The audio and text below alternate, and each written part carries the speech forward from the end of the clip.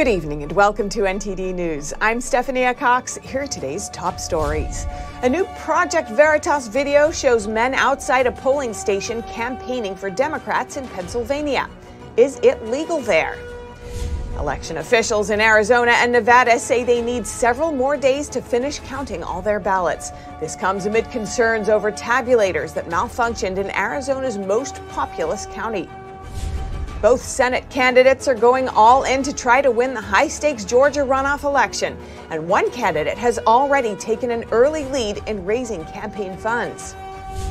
We take the pulse of the nation and its media. What a speechwriter for former President Trump has to say about the midterm results. And the Indian Child Welfare Act is under fire in front of the Supreme Court this week. We speak with a legal expert who argues that the act is race based.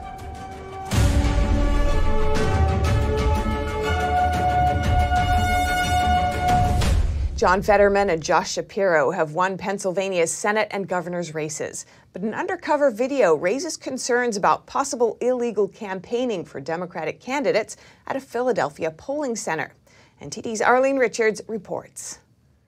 Project Veritas, a nonprofit organization that investigates and exposes corruption, has a new video. It shows men at the entrance of a Philadelphia polling center on election day providing information on Democratic candidates. Anyone need Democratic Party information? You good? So you, are telling me I should vote John Fetterman, I should vote Joshua Shapiro? If you vote that, Democratic, make... all of them are the Democrats. You only got one against one. The video, posted on founder James O'Keefe's Instagram account, shows one man saying this. I know, I think here's the Democratic Okay. Here's the uh, ballot. For Democrat, for the, for the common man, and this the guy that got, got a lot of money you want some tax shelter. That's the, that's the way to go. Flyers for Democratic candidates were posted at the door. O'Keefe said the men were engaging in illegal electioneering. What is electioneering? It means to actively campaign on behalf of one party. So, what's illegal about that? Pennsylvania law requires all persons to remain at least 10 feet distant from the polling place during the progress of voting. There are exceptions for persons lawfully giving assistance to voters, such as election officers, clerks, and machine inspectors but it's not clear if these men fit the exceptions. What do you do, Rudy? Do you just you work here, or you? I'm a committee person. Are you do you work with the, with the office here? I'm a committee person. Philadelphia County has a guide that details key items the law says shouldn't be happening outside of polling places. For example, handing out campaign materials and telling voters which candidates to support. In another Veritas video, a Chinese translator who works for the election board also favors Democrats. I, I asked you to vote the I mean the Democrats on the. Meanwhile, over at a ballot box near a Philadelphia elections office, I'm going to talk to someone that works at the Board of Elections and let them know these keys are here. They're obviously some sort of elections keys. Uh, basically, I, I came around the block and I realized that there's a set of keys on top of this ballot box. Arlene Richards, NTD News, New York. Officials in Arizona's Maricopa County are explaining what went wrong with their tabulators on Election Day. They say the machines malfunctioned because printer settings were wrong, and the county needs at least until next week to finish counting all the ballots. During the Tuesday elections, tabulators at 70 polling sites in Maricopa County malfunctioned. The tabulators were unable to read some of the ballots because the printers did not produce dark enough timing marks on ballots. This impacted around 20% of polling sites in Arizona's most populous county. Voters at those locations were asked to place their ballots in a separate box on site instead. We have about 7% of the total of in-person ballots yesterday that went into box three. So that seven, 17,000 ballots is about 7%. The Maricopa County Board of Supervisors issued a statement Wednesday explaining why the machines malfunctioned. They said the problem was with faulty printer settings. Board Chairman Bill Gates and Vice Chairman Clint Hickman said, quote, The printer settings for the ballot on demand printers at vote centers were the same ones we used in the August primary. The paper was the same thickness. What happened yesterday, uh, we cannot have a repeat of. We are already looking very closely at what happened. Obviously, our team was able to come up with a fix yesterday for what happened, so that allowed those vote centers to get back online. Maricopa County officials said that they test printed and test tabulated hundreds of ballots without issue before the general election. They added that they are trying to find out what changed. The county board also said, quote, "Once we get through this election, we are committed to finding the root cause of the issue so that it does not happen again." Gates said on CNN Thursday that they have around 400,000 ballots left to count we will be going into next week. There's some onesie twosies, uh, again, pursuant to Arizona law, but I think that we'll see the lion's share here wrap up by early next week. The Senate and the gubernatorial races in Arizona are still too close to call as of Thursday evening. Reporting by Allison Lee, NTD News. And Nevada will also need more time to count their ballots. Election officials in Clarks County, the state's most populous county, said today that they still have around 50,000 ballots to go. They added that it will take three days to get the ballots into the system. The race for governor and for U.S. Senate are still too close to call. With roughly 91% of the votes in, Republicans are leading both races. And the runoff election for the U.S. Senate seat in Georgia is just four weeks away, and both candidates have already received millions of dollars in campaign funds. The stakes are high as this race could determine which party takes control of the Senate. NTD's Jason Perry has that story. I did warn y'all that we might be spending Thanksgiving together. Senator Raphael Warnock didn't waste much time before getting back on the campaign trail for Georgia's Senate runoff election. Let's win this thing one more time. Let's build a Georgia that embraces all of our children. Let's get it done. The Democratic Senatorial Campaign Committee has announced it will spend $7 million to help the Warnock campaign. The money will fund direct voter contact programs that will reach Georgians at their doors. Republican candidate Herschel Walker said this on Fox News. Now, they're trying to buy this seat. They're going to do everything they can to buy this seat. So I'm going to need your help, everyone out there help to say, hey, guys, we're not going to let them buy this seat. According to Fox News, Walker's campaign has received about $4 million since the runoff election was announced on Wednesday. Georgia Secretary of State Brad Raffensperger, who was just reelected, shared his experience with runoff elections. I was in a runoff four years ago, and I prevailed on that. It's really who gets the pe most people out, who has the most uh, you know, active campaign. And I know I traveled all over the state in my uh, runoff period, and I'm sure that both campaigns will be doing that. As Walker and Warnock campaign for their second time in this election cycle, votes are still being counted in Nevada and Arizona. If either party, Republican or Democrat, wins both of those Senate races, that party will take control of the Senate. But if the Arizona and Nevada Senate races split between the parties, control of the Senate will come down to the winner of the Georgia runoff election. Jason Perry, NTD News. And in Colorado, Representative Lauren Boebert took the lead in her race for reelection today. She's now ahead of Democrat Adam Frisch by about 450 votes, according to unofficial results from Colorado Secretary of State Jena Griswold. Decision Desk reports her up by about 790 votes. Boebert, a strong supporter of former President Trump, is seeking a second term. Frisch was ahead by just 64 votes late yesterday. And as votes continue being counted in some key midterm races, we take a step back and look at what the coverage of the results tells us about the country's media and where things stand with former President Trump. Earlier today, I heard from Darren Beattie, a journalist at Revolver News and a former White House speechwriter for Trump, for his perspective. Darren Beattie, welcome to our show. Thanks so much for joining us. Fantastic to be here. Thanks for having me. Now, the expected red wave did not happen as Republicans had hoped it would, mm-hmm. but the GOP has made some significant gains in states and localities nationwide, including state Supreme Court judges, school boards, and state legislatures. What do you think these gains signal about voter sentiment? Well, I think voter sentiment is a mixed bag, but you're absolutely right. It is not the disaster that's been widely reported in certain quarters of the media.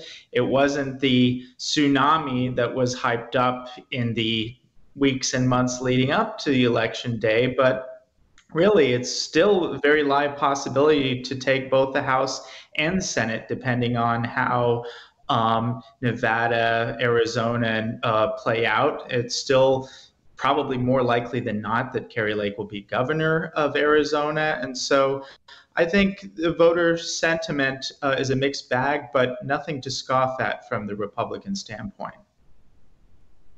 And 17 Trump backed Senate candidates won in the midterms.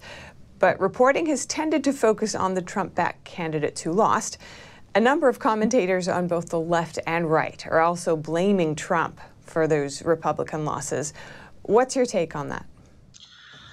I think it's a foolish narrative uh, for most of those purveying it, and it's a malicious narrative for those who've been seeding it. I mean, it's no secret in American politics that there's a certain element of the establishment and consultant class that's wanted to get rid of Trump since he appeared on the national stage. And they're smart enough to understand that we can't go back to self identified establishment candidates. And so their next best bet is what they call Trumpism after Trump. And so they think the most efficient way to materialize this is to falsely blame uh, Trump for the, again, not disastrous, but perhaps underwhelming results of. Uh, of the other day, of midterm day, uh, which I think is um, really simply mistaken from an analytical point of view. And what do you think accounts for the large number of conservative leaning media outlets and commentators going after Trump in this way? Well, anybody who has lived through the year 2015, I was one of the lone Trump supporters in July of 2015, and I can tell you that the most vigorous and hostile opposition I received for supporting Trump that early on in the primary stage did not come from the left. It came from people who make a living off of conservatism. That has never changed. These scam artists and scumbags and mediocre grifters who make a living off of politics in this fashion cozied up to Trump after he was a foregone conclusion, but never reconciled with him. And the knife has always been ready for the appropriate moment to stab him in the back, and the knives are out right now. But I think we've learned at this point that you never underestimate Trump, and I think he's more than prepared for uh, the betrayal that is emerging from certain quarters of the conservative establishment. Do you think Republicans are at a crossroads in terms of the future of the party and its leader? I don't know about crossroads. I think uh, it's a bit premature to say that. I think to some extent, the whole sort of civil war narrative or Trump versus DeSantis thing is overblown and amplified by people who just want to stir up trouble. I think that most Republican voters love DeSantis as they should, and they love Trump, and they understand that while DeSantis is an excellent governor, um, he's perhaps not ready for the national stage on which Trump has proven himself. And they're more than happy, especially Floridians such as myself, we're more than happy to treat ourselves to DeSantis's excellent leadership here in Florida for a little bit more. And then uh, he can run for president um, perhaps in uh, 2028. Now, you said that if Trump decides to make a comeback, he should be selective about the outlets he interviews with and resurrect the spirit of 2015 by going scorched earth mode. Could you elaborate on that? Well, the first one, it's been a source of frustration. I'm very grateful that he does uh, endorse and promote my news outlet, revolver.news, and we've always been very supportive of him. But it is kind of frustrating to see someone like Trump, who has killer instincts and on certain level knows you reward friends and you punish enemies doing interviews and exclusives with news organizations that simply hate him and in many ways it's one thing with the new york times that already has you know a certain kind of uh, reputation but for conservative outlets that rely on him for views and for clout, for him to simply give them that imprimatur when they attack him at the earliest opportunity. I think he needs to get a little bit more um, more ruthless in that regard and say, look, for the people who betray me, I'm not going to let you make a living off of me. And uh, as for scorched earth, that's a much uh, broader um, uh, uh, uh issue. And I think again, you know, he's he had that killer instinct 2015, 2016. He shocked the American political establishment. He ran against and he earned the coordinated opposition of every single powerful, corrupt institution of this country, and he beat them.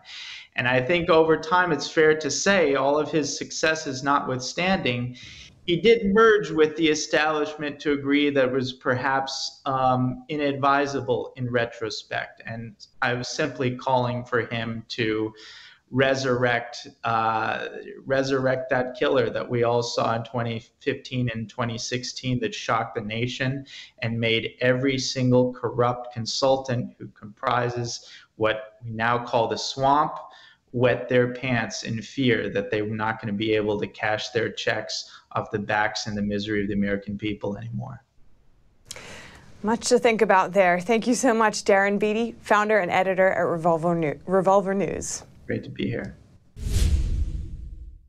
As the number of Republican House wins is rising, a House committee submitted a brief today that urges the Supreme Court to release former President Trump's tax returns. The House Ways and Means Committee is concerned that without the records, it won't be able to complete its legislative work before this term ends in January 2023. If Republicans take a majority in the House, the request would most likely be dropped when the new Congress is seated. The Treasury Department was temporarily blocked from giving the returns to the committee. The question currently before the High Court is whether or not to extend the delay. And a follow up on a story from last night. The Supreme Court yesterday heard arguments against the controversial Indian Child Welfare Act. Today, we hear from one of the parties involved who spoke with our reporter.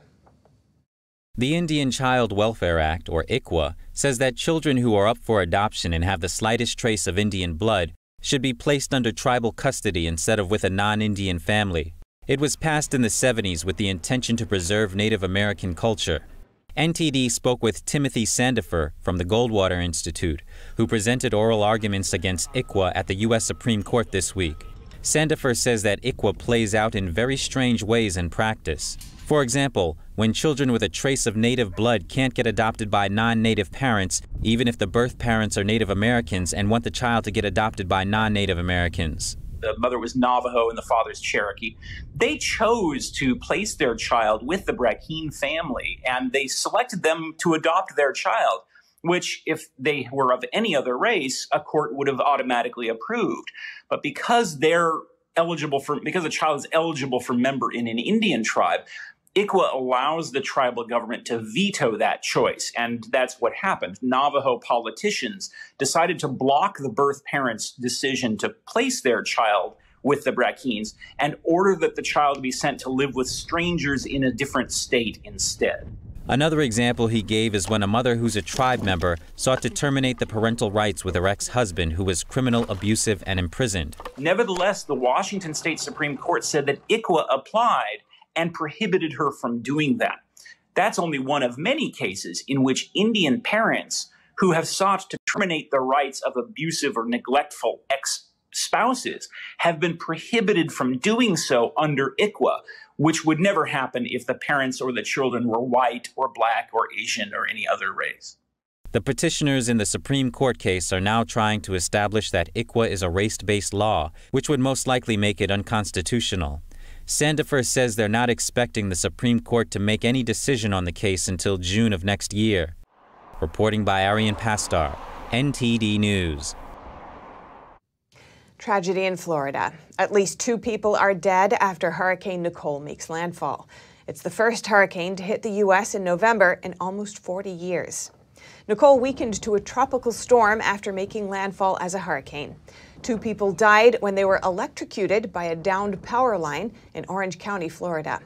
In Volusia County, officials say multiple coastal homes have been collapsed and several other properties are at imminent risk. That's in places where Hurricane Ian washed away the beach and destroyed seawalls only weeks ago.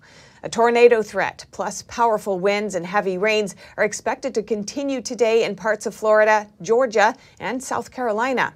Nicole is expected to dump lots of rain over a large area of the southeastern U.S., with up to six inches falling over the Blue Ridge Mountains.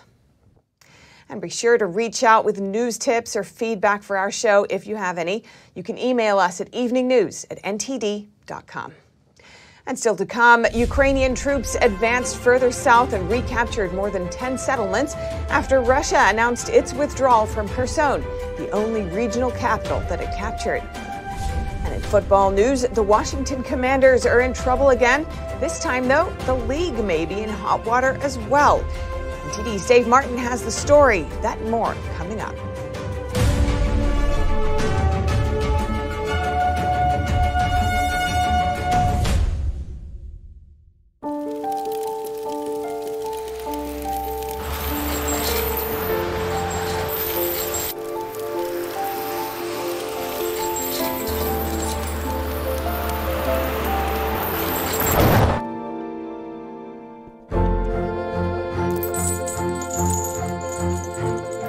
Did you know dragging chains can spark a wildfire?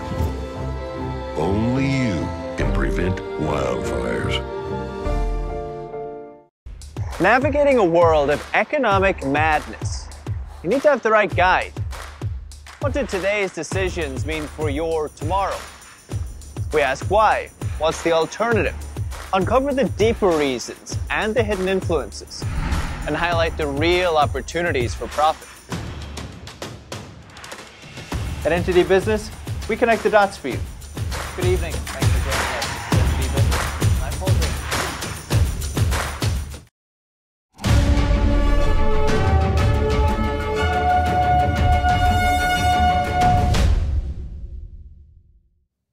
Ukrainian troops advanced in the south today after Moscow ordered one of the war's biggest retreats, leaving the city of Kherson. But Kyiv remained wary, warning that fleeing Russians could turn Kherson into what they call a city of death. Ukraine's army chief said on Thursday that Ukrainian troops had advanced four miles and recaptured 12 settlements after Russia announced its withdrawal from the southern city of Kherson. Ukraine's state TV showed a small group of Ukrainian soldiers being greeted by residents in a retaken village around 30 miles north of Kherson. Moscow ordered its troops on Wednesday to withdraw from the entire Russian held pocket on the west bank of the Dnipro River, including Kherson City. I understand that this is a very difficult decision. At the same time, we will save, most importantly, the lives of our troops and the overall combat effectiveness of the troops. Kiev has so far mostly been wary in public, warning that Russians may still be planning to sow destruction on their way out. But you need to understand no one just goes anywhere if they do not feel strong. The enemy does not give us gifts, does not make gestures of goodwill. Kherson is the only regional capital Russia had captured in the nine months of war.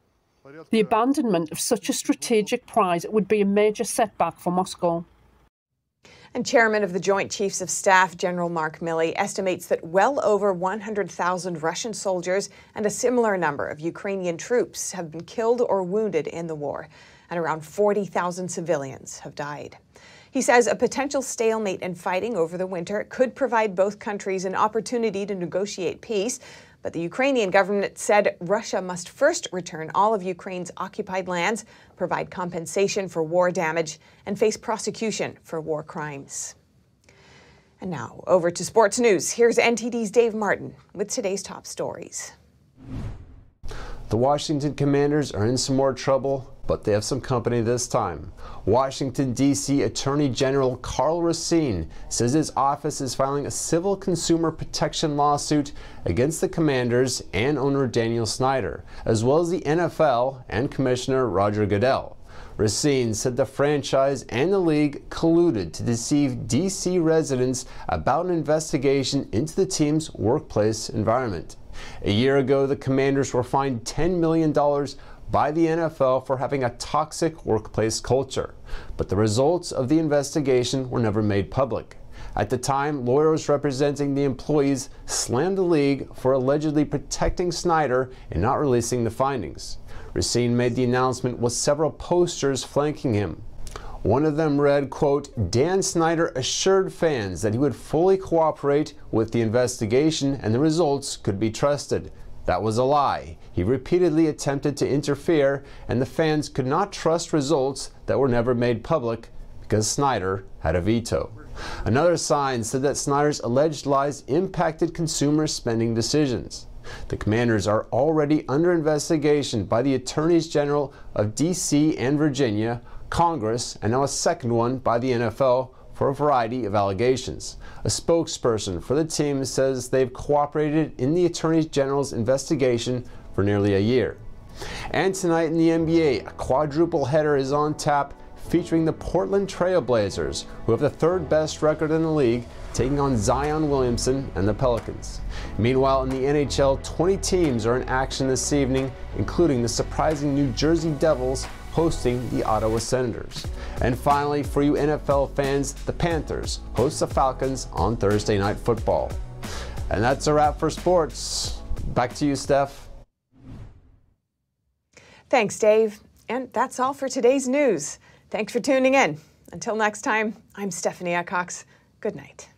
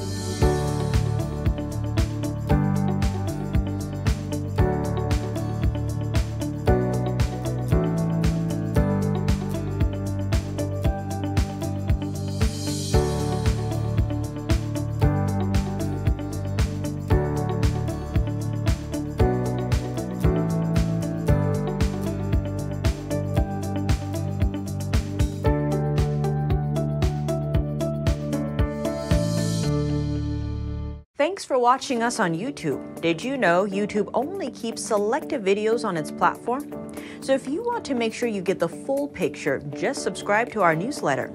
Go to newsletter.ntd.com and sign up. It's free.